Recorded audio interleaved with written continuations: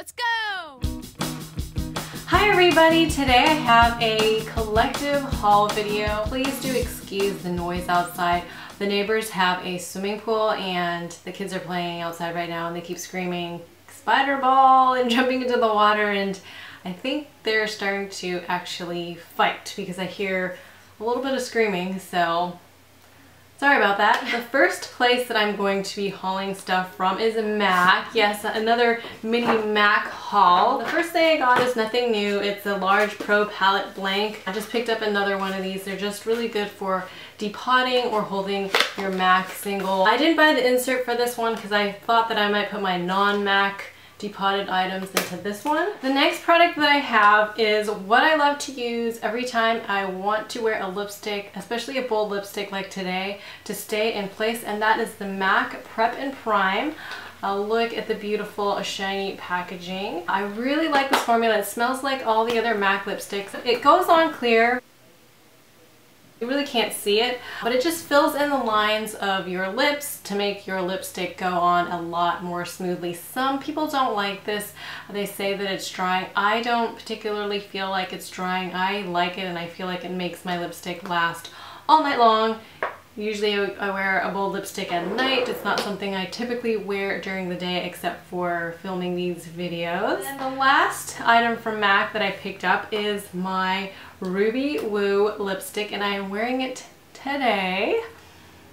I happen to really like this. Russian red is a deeper red, so here is Russian red. Now both of these formulas are quite drying uh, because they're mattes. I think Ruby Woo is a little bit more drying. Here it is, and that's why I use the Prep and Prime with it. It kind of drags when you try to put it on your lips. I already knew it was going to do that because I've seen a lot of reviews on Ruby Woo before. This one is a retro matte actually. I don't know the difference. The other matte MAC lipstick I have is Candy Yum Yum. I really like the shade of it, but I don't quite know if that shade suits my skin tone. So I don't really wear it that often. It's cute, but not really sure that it suits my skin tone. It's a Russian Red, Ruby Woo, and Candy Yum Yum.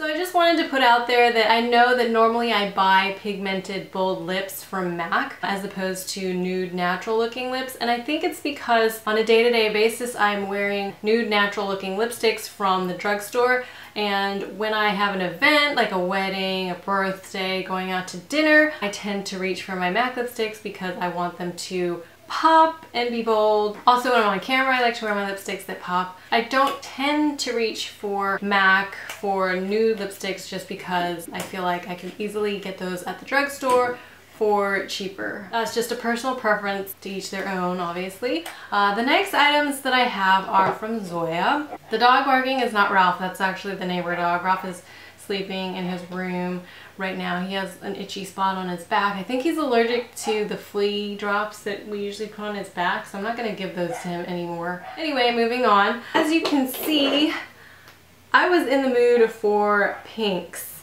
So I picked up a whole lot of pinks.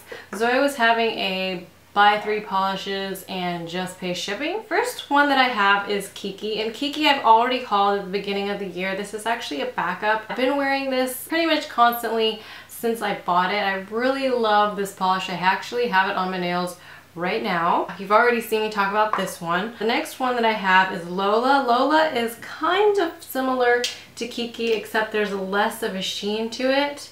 Um, if you want to see really good swatches and comparisons of these, go to Pink So Foxy's blog. That's kind of how I picked some of these colors. Here is Kiki on the left and Lola on the right. Uh, Kiki has a little bit more of a sheen to it as you can see as I move the bottles up and down. Uh, the next one that I have is Rooney. Rooney is a lot like Jolene, but I think it's a little bit less pink. Is that a good description of it? I haven't tried this one yet. Here's Jolene on the left hand side and Rooney on the right hand side. They're very similar shades but like I said earlier slightly different pinks. But they both have a creamy finish. These two here I have Kitridge and Sweet. I think the one that I've already tried is Sweet that one, the formula really disappointed me. It didn't really feel like a Zoya polish to me. To me, a Zoya polish is one that just glides on your nails with no bubbles, no bits where you feel like you need to go over. It goes on nice and smooth. Sweet, unfortunately, was not like that. I had all these watery patches on my nails. Maybe as this one dries out, it will perform better, but yeah, I was not impressed by it, and I don't know what's going on with my voice, but I do have a headache, and I am getting a hot flash right now. So if you see me sweating, it's because um, it is that time of the month. It's supposed to come any day now. Anyway, Kitridge is this other bubblegum pink, which I hope will suit my skin tone. I've learned that not all pinks suit my skin tone. Here's Sweet on the left hand side and Kitridge on the right hand side. Very similar bubblegum pinks except Kitridge is slightly more neon. It doesn't quite come through in the picture quality but you'll have to take my word for it or search for swatches online. Next one I picked up is a Mauve Berry and this is in Manon. This is different from most shades that I have but I thought it was a cool tone with a opacity of 5 so I decided to pick that one up. So I have been told that the Milani lip, I don't know what they're called, are pretty amazing. So I'm looking to try to find some of those lipsticks at the drugstore if I can find some. And then also I'm going to Europe in two and a half or three weeks and I will probably try to find some makeup in Europe that I can't get here in the USA. Sleek we can get online. Bourjois I think is a little bit tougher although I haven't been too impressed with their makeup line for what I've tried so far. Also, they're a little bit pricey, but if I see something exciting, I might try it. I have been wanting to try their Healthy Mix foundation. Let me know down below what I could pick up in the UK and in France. Those are the two countries that I know I'm going to be traveling to. We might hit Italy, uh, we might hit Spain.